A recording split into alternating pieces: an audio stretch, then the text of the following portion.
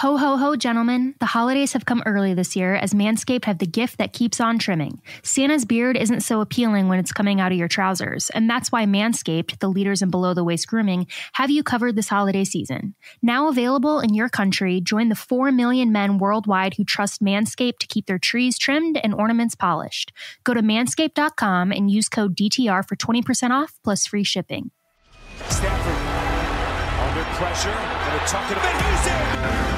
Henderson, he's off and running. As Woods, touchdown. Cooper Kupp just went up and took it away. Van Jefferson for the touchdown. Aaron Donald smothers him. Jalen Ramsey put the pop on. Sacked by Leonard Floyd, having a day again.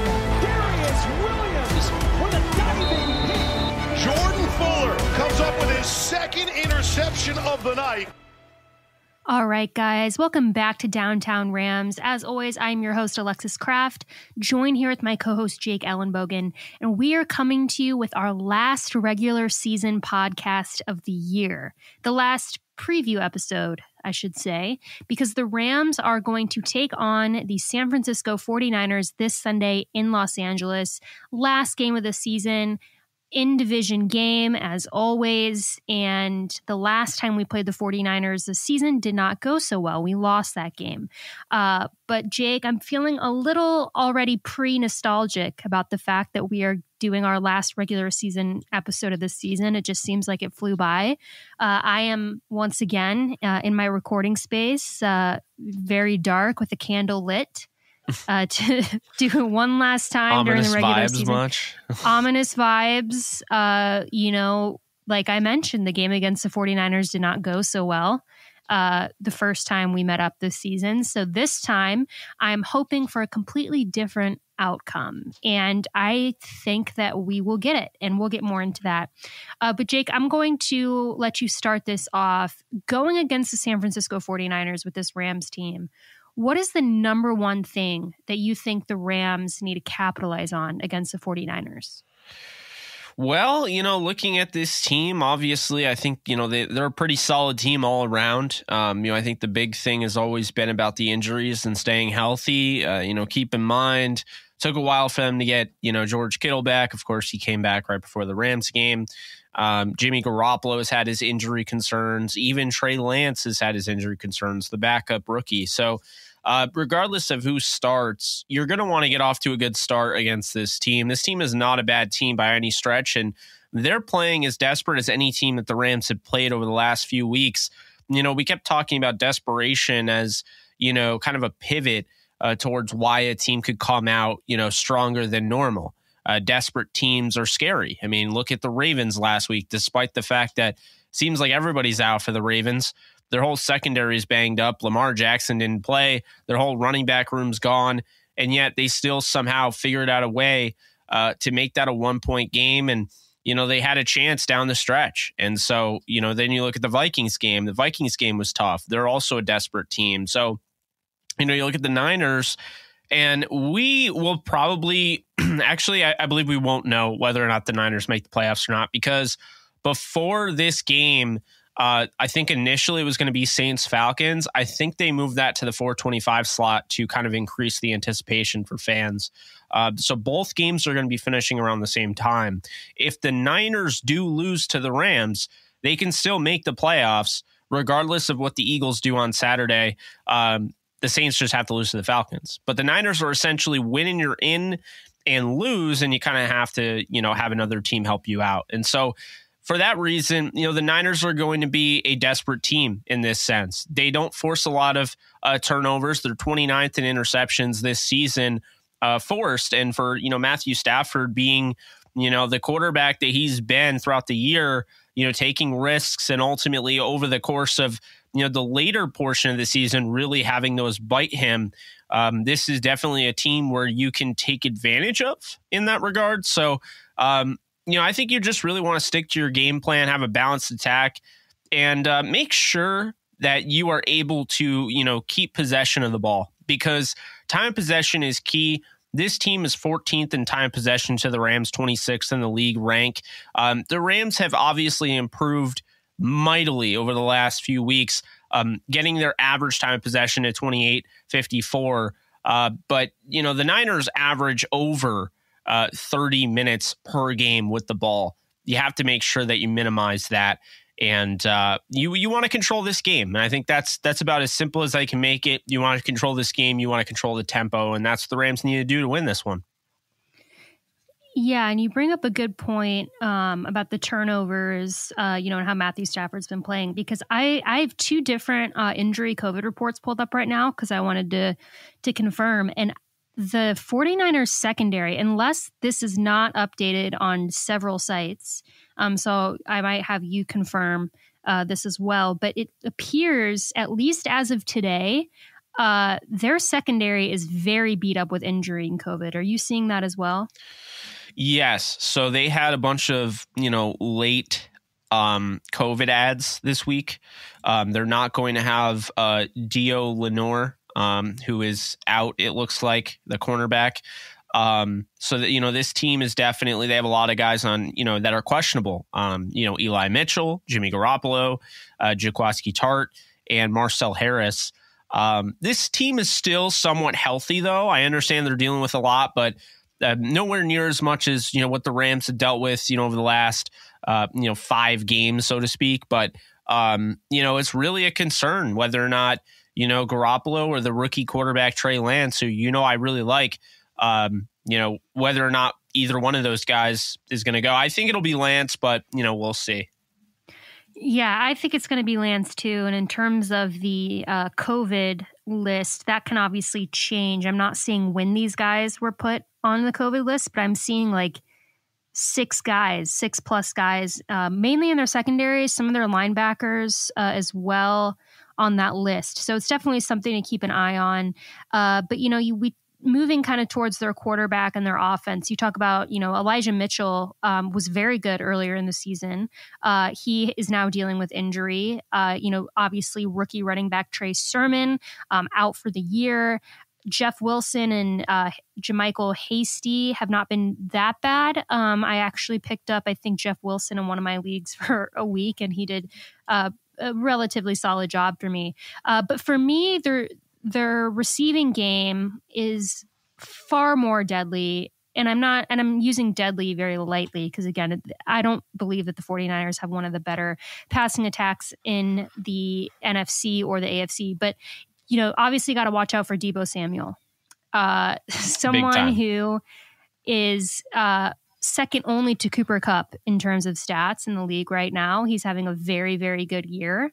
Uh, he's a guy that Rams fans I know a lot have beef with because him and Aaron Donald have a little beef going, which I think is very one sided. By the way, I don't think Aaron Donald gives a crap about Deebo Samuel. No, but, he doesn't. But Deebo definitely cares about uh, Aaron Donald, whatever. Uh, so I think he's someone to definitely look out for. That's someone that I expect Jalen Ramsey, hopefully, uh, I should say, will be on him most of the game. Um, Aiyuk uh, has been playing very well. Uh, they obviously have George Kittle. Um, another guy to look out for. So, you know, they have some guys in that receiving game that it's going to be very interesting to see how the Rams line up against and attack. And you know, last week uh, against the Ravens, one of the, the big issues that, uh, you know, I had and I, I, saw that a lot of other Rams fans had was that it seemed like the receivers were being left open a lot. And I understand that that can kind of go into our defensive scheme, bend, don't break. But you'd see guy, you know, receivers catch the ball and have the chance to, you know, run it for a few yards before they were getting tackled. And just looking at guys like Deebo Samuel, Aiyuk, and Kittle, I would hope that that is cleaned up this week because I, as you know, you're a big as big a fan of George Kittle as anyone I know. you don't, we don't want him to uh, light it up against us. We definitely don't want to give him a lot of opportunities because he's one of the best tight ends in the league.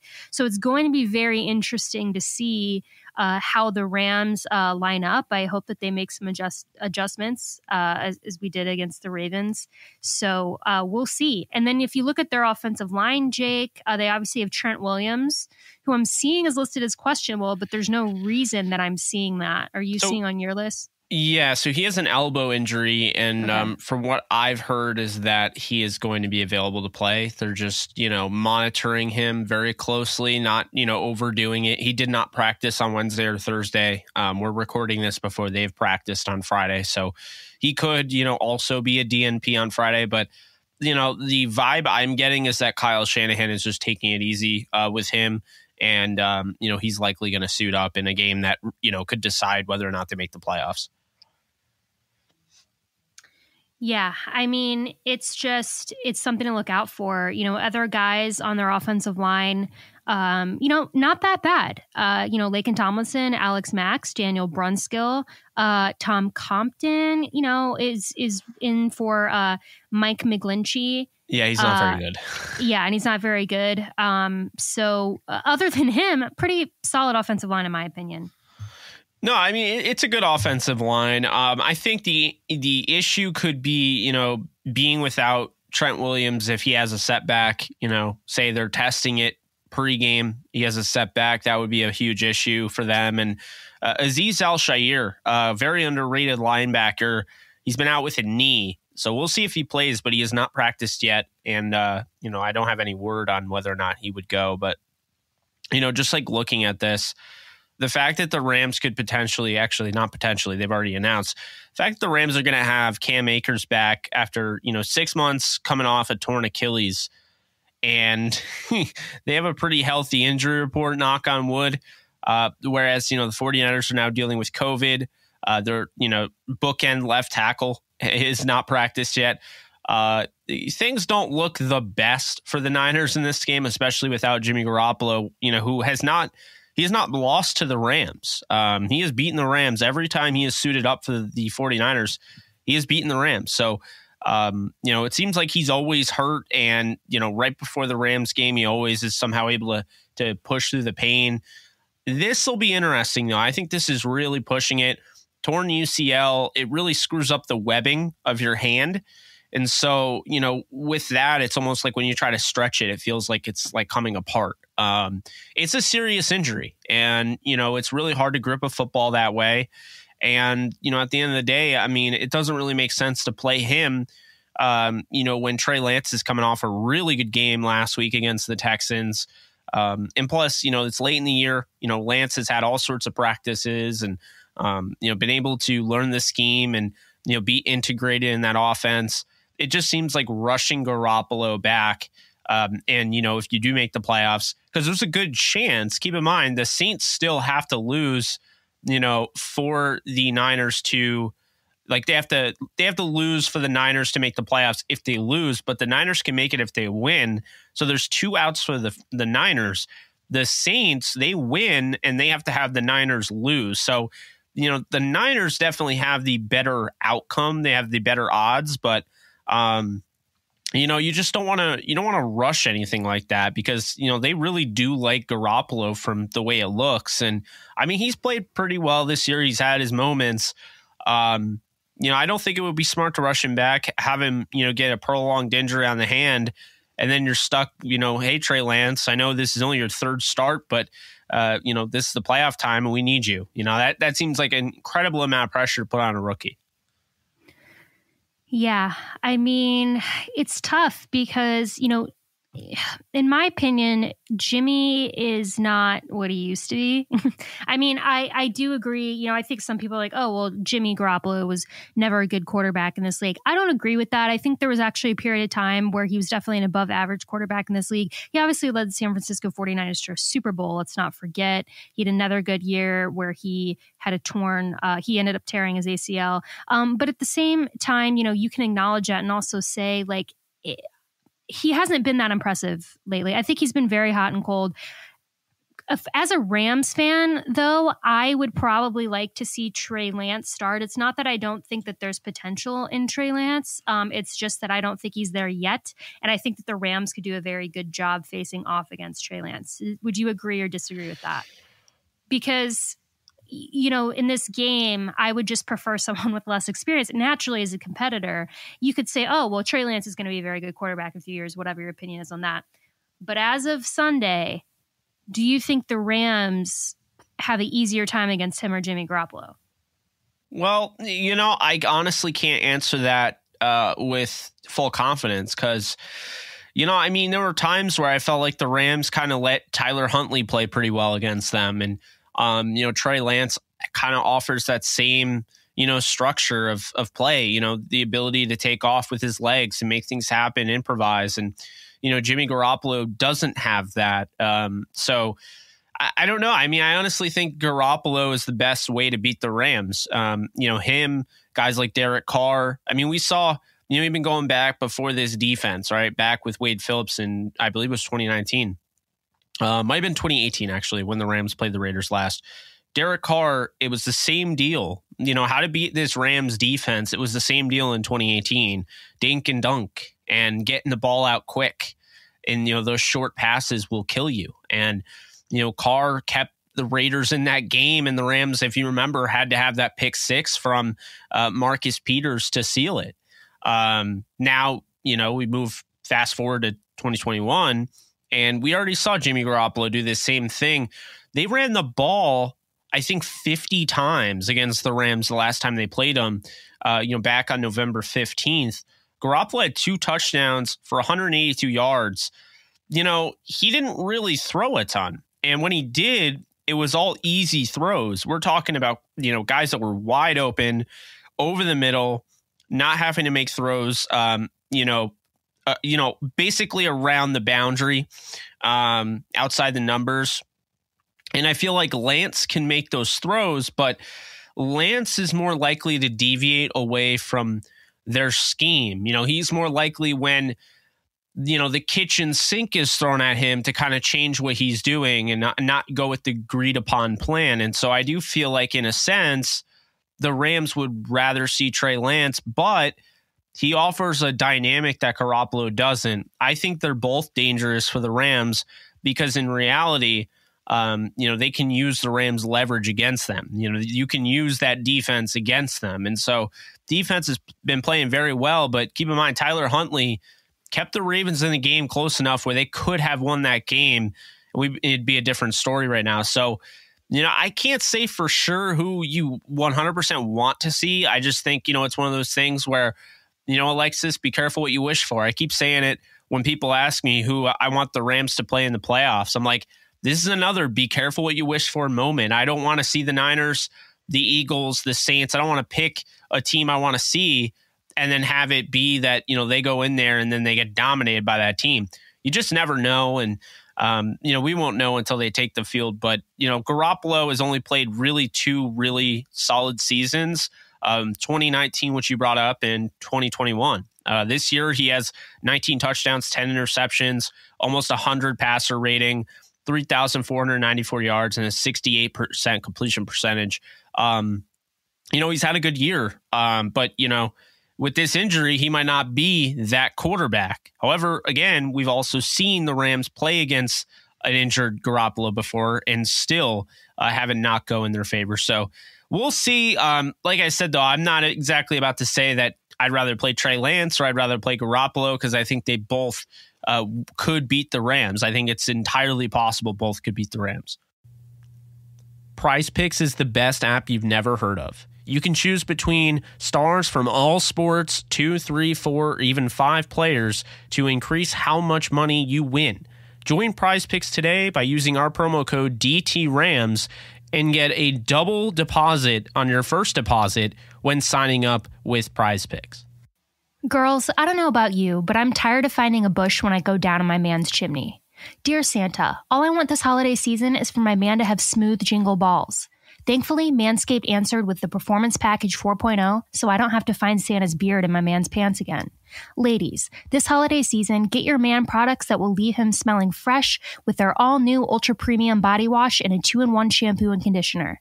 It's time to give the man in your life the gift of beautiful skin, hair, and balls this holiday season. Go to manscaped.com and use code DTR for 20% off plus free shipping. Well, that's going to lead us into our kind of game predictions, our stat predictions. Um, because I'm basing my predictions off the fact that Trey Lance is going to play because I think that that's uh, what is going to happen. Um, I mean, I don't know that they would maybe differ, but I, looking at the inter- interceptions that I believe that the 49ers and specifically Trey Lance are going to throw, that is shifted more towards Trey Lance. So, Jake, um, I'll go first, uh, giving my stat predictions for a matchup against the 49ers. I think the Rams are going to have at least two interceptions. I wanted to say three, but I'm not going to get ahead of myself because when I do that, it almost always backfires on predictions. Um, hence what happened with the Ravens game. I definitely over predicted there. Sack wise, like I said, their offensive line actually is not that bad. I actually like their offensive line, with the exception of Tom Compton, who again is filling in for Mike McGlinchey, who's a great tackle. So I still think the Rams are going to get a couple sacks. I'm going to say that the Rams are going to get two sacks, two interceptions. I think that Cooper Kupp is going to have a two touchdown game. I know that his uh, personality is not to chase records or chase anything like that. I don't know that he'll break. Um, of course, now the number's slipping my mind. Is it yardage in a season that he needs? Like he needs like 200 yards. He needs 126, 120. I think, or so, something so, like well, that. Off top of my head, I'm forgetting. He needs you know, 12 receptions, I think, to break the receptions record held by Michael Thomas. I mean, I'm going to say that I'm not going to bank on either one of those. I won't be surprised if if the Rams feed him a lot and that happens. I mean, it is kind of a lofty ask, um, you know, in, with just one game to go. But I still think that Cooper Kupp's going to have a two touchdown uh, game. Again, I'm going with twos. Second meeting against the 49ers. So we're going two touchdowns for two, uh, Cooper Kupp two interceptions, at least two sacks. I hope all of these numbers uh, end up being more than more than two, but uh, you know, we'll see. But that's that's my very modest take on this game because I don't want to jinx myself like I did last week. So Jake, what are your stat predictions? Yeah, so you know, like kind of going into this game and and you're looking at it from you know multiple angles. I mean, I just want to point out that the Rams, uh, before the Steelers' nine sack outburst on Monday Night Football, the Rams led the league in sacks to 47. Um, that's not even close to a record. The 85 Bears have the record. It's in the 70s, if that tells you anything. Um, so this is a team that doesn't, you know, they don't get a ton of sacks, but really no team in the league gets a ton of sacks. They're second in the league and they only have 47 to this point. I'm going to say the Rams stick with their, you know, kind of a little bit of a run here with their three three plus sack performance. I'm going to say they get three plus sacks on Trey Lance. I also think Trey Lance is going to start. I think it's going to be incredibly difficult for Jimmy Garoppolo to get out there and hold a football, um, let alone throw it. So I'll go with them. By the way, the Rams DVOA ratings, uh, they're sixth in the league in offense, fifth in defense, sixth in special teams. I think it shows you over the course of time, it took a while, but you can see why I believed in, you know, Raheem Morris's defense. And I believe that, you know, at the end of the day, they were going to get things fixed. And this is what they've done. And you know, they've become maybe the best uh, all three phases complementary football team in the league. Uh, as of right now, going into week 18, I feel like they really are. So, you know, looking at stat predictions for the offense, you know, I think this is going to be the game where Cooper Kupp, you know, does break the record um, for both receiving and uh, you know, receiving yards and receptions. I really do f- feel that way. Um, you know, I think he's going to get what he needs to do, uh, you know, in this one. And, you know, at the end of the day, I know he's not vying for it, but it's hard to imagine, Alexis. You think of this scenario Cooper Kupp comes in and, you know, he goes for 14 catches for 180 yards, two touchdowns, leads the Rams over the Niners.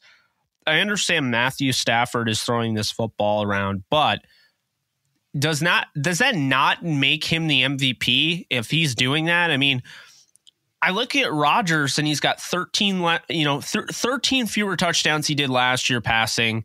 Doesn't even finish with 4,000 yards since he's probably not going to play this weekend. I don't know if I would give it to Rodgers because, yes, he's the best quarterback, but I just don't feel like we should look at MVP as anything more than the best player of the season instead of focusing so much on the valuable aspect. So, you know, what I will say is if Cooper Kupp goes out there and he has like a 14 catch, 182 touchdown game, I don't see how, you know, a guy that we're talking is now on a 13 and 4 football team as the number two seed helps clinch the division. I don't know how he's not the MVP over Aaron Rodgers, who, again, you know, best season for a quarterback this year but no quarterbacks really had eye opening stats. It's not a, a record breaking season by any stretch. And you know I love Rodgers, so it's not it's not hate against him. Um, and then you look at Jonathan Taylor, who I love Jonathan Taylor, and you and I both liked him, but you know, you look at him and as great as he's been, it's not even close to one of the best seasons all time for a running back. It's not close to breaking records. And on top of that, there is a very possible chance here the Jaguars playing for literally nothing but to knock their division rival out of the playoffs. There is a real chance that Jonathan Taylor is playing for a team that doesn't even make the playoffs.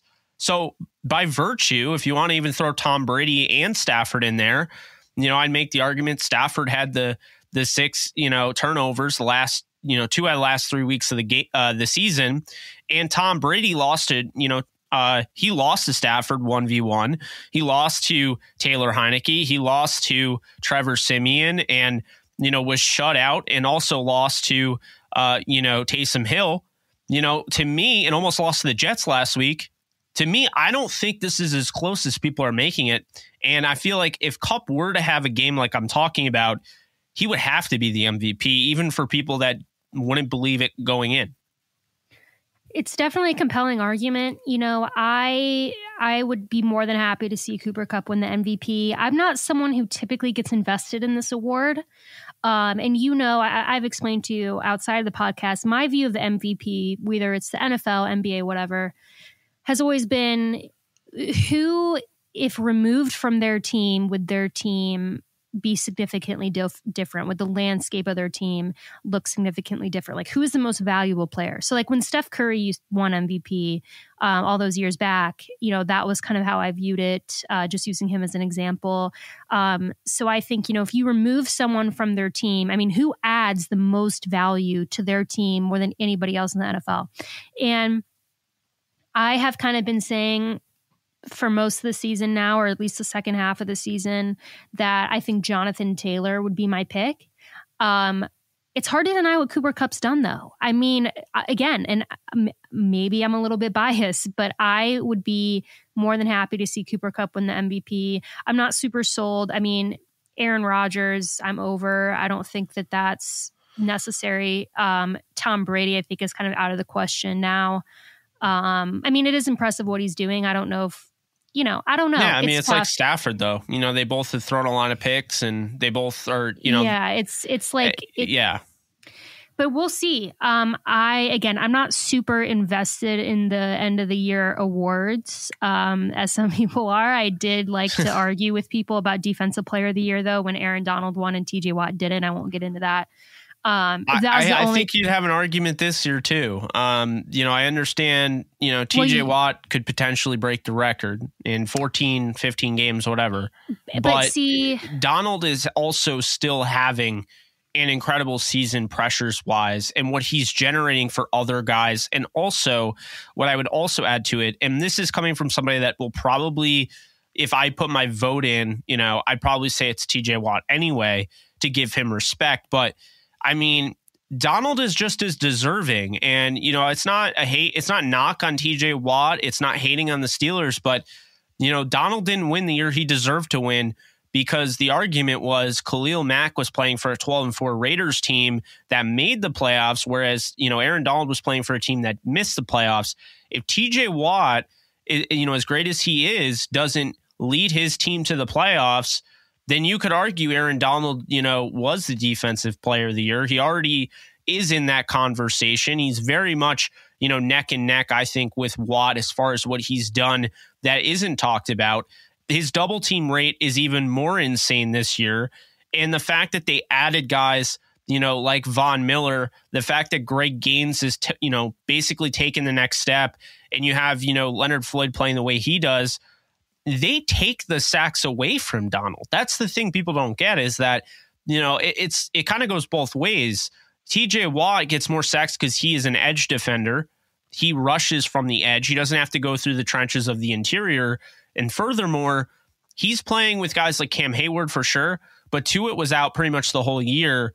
And the other guy's a rookie. Oh, not the, not a rookie, but a first year starter who we really like in Alex Highsmith. But It's not like having you know Von Miller, uh, Leonard Floyd playing in the trenches, having Greg Gaines now taking your sacks. I mean, uh, Donald doesn't care. At the end of the day, that's why Donald hasn't gotten the the sack award probably because he just simply doesn't care about you know being the guy to get the sack. He's just trying to force pressure and make it so everybody around him eats. And to me, that's why Donald, you know, is most deserving. I think any any year really. I mean, he's the best player in football, and I think anybody would admit that.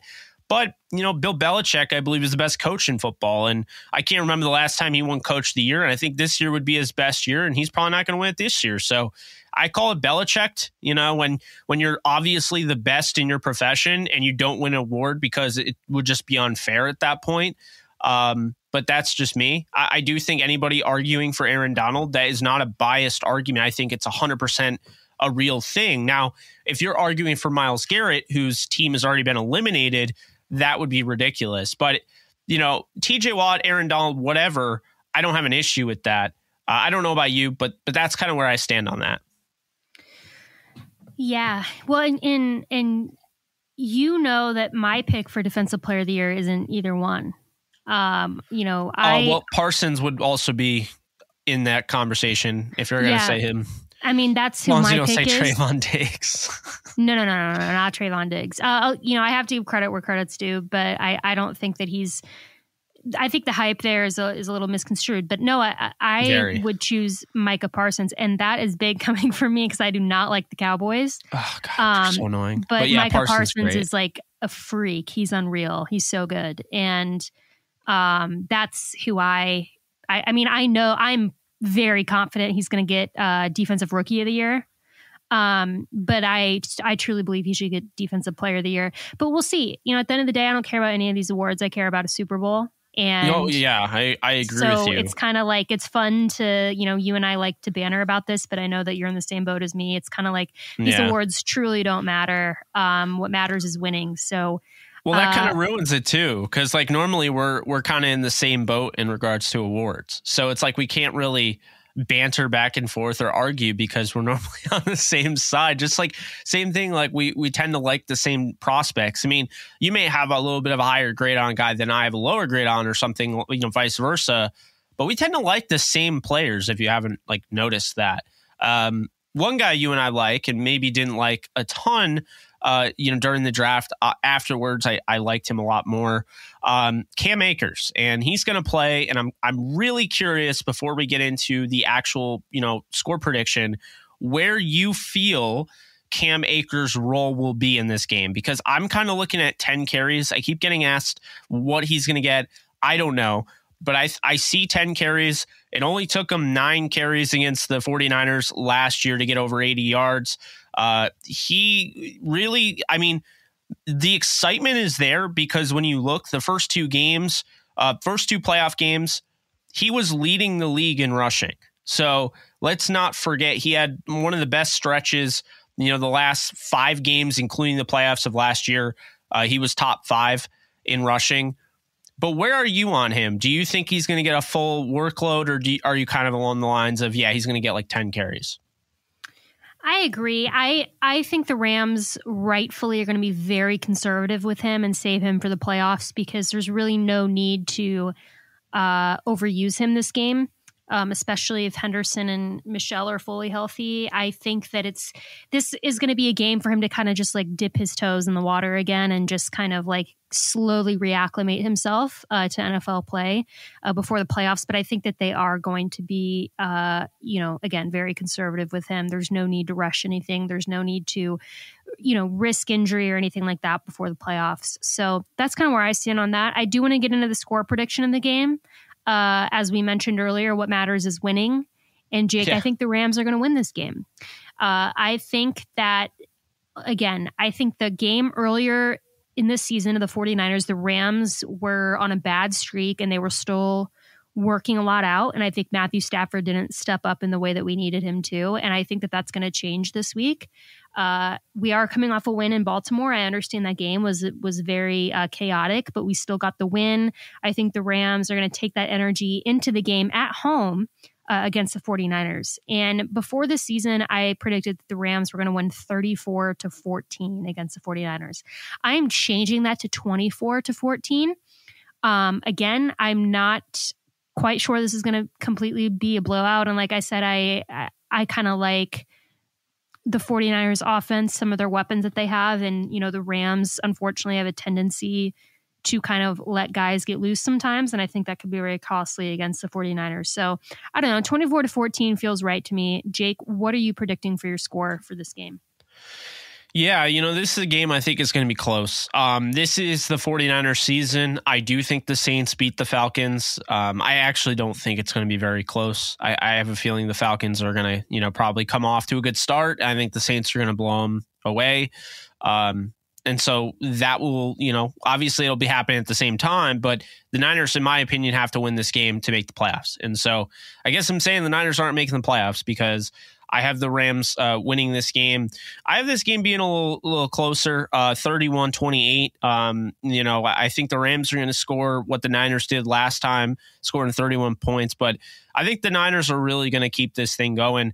I think they're going to be able to keep, um, you know, scoring touchdowns this is going to be a battle, and this is what happens. Sometimes, you know, as great as the defense has played, sometimes you get into these games.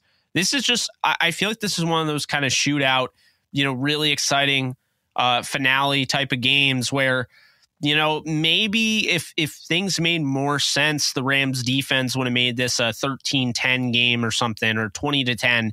Um, but I just feel like everything going on right now with San Francisco, knowing that their season's on the line, they're to come out and they're to give it their all. And, you know, I really do like the Rams at home here.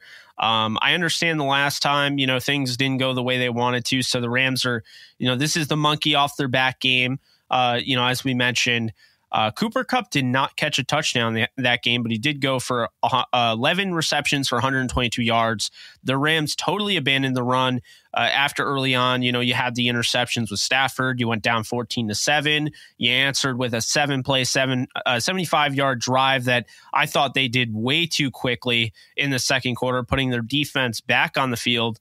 Um, then you had a, a long 11 play drive that went seven minutes. So you went down into the half, uh, down 21 7. Um, you did a nice job stopping them on 10 plays but they get you know they ripped up six minutes in the third quarter. You were down 24 7 so you were really never able to get back in the game because of time of possession. I think with the rams the way they've changed their approach the way their game plan is more balanced i understand stafford is still going to throw in the 30s you don't want to see him throwing over the 40s typically. He threw 41 in the last time. You get him in the 35 range and you run the ball 30 times I think you're going to be able to be pretty good in that sense. Uh, the Niners' time of possession, though, it, it, just can't happen. Last time they had it almost 40 minutes of the game. I mean, that's ridiculous. You you can't allow that. Um, that's not conducive to winning football. And so, you know, the Rams are just going to have to make sure that they do a good job of not turning the ball over and holding on to the football and, you know, sustaining longer drives because the one touchdown they had against the Niners, that drive uh, was two minutes and 33 seconds. Um, so, you know, that's just not going to cut it. And uh, you're going to have to sustain the longer drives. You had 27 carries out of Eli Mitchell for 91 yards. So I thought the Rams defense, despite not looking that great against the run, they actually did a pretty decent job against the run. The Niners ran 44 times to the Rams 10. The Rams will run more than that in this one. I think the Rams get the job done. Uh, 31 28 at SoFi, improving to 13 and 4, knocking out the Niners, returning the favor after the Niners knocked out the Rams in 2019. And the Rams not only win the division, but they clinch the second seed and uh, they get ready to play what would be the New Orleans Saints in a another another postseason rematch. Hopefully that would uh, not end well, sour. Yeah, that would certainly be an interesting scenario. Uh, obviously, some bad blood between the Rams and the Saints. But that's going to do it for us, guys. Our last preview episode of the regular season of Uh, well, it's 2022 now, I guess. But we will be back uh, after the game with the recap episode. Uh, but until then, guys, as always, if you like what you hear, please like and subscribe. You can follow us on all social medias at Downtown Rams. You can follow me at the Alexis Kraft on Twitter. You can follow Jake at JK Bogen. And like I said, we'll be back. But until then, stay safe, take care, and go Rams.